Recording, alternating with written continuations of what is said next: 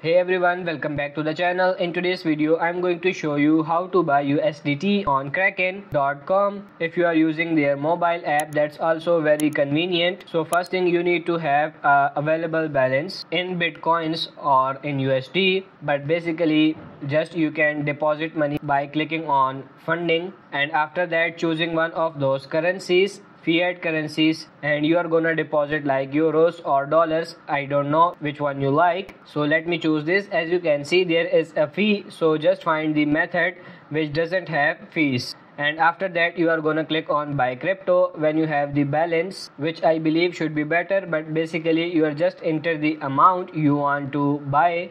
And after that we are gonna search for usdt so it's Tether and you are gonna click on a preview buy I believe this is a different button for me but that's basically it for this video. I hope this video was helpful. If it is like it and subscribe to the channel. Thank you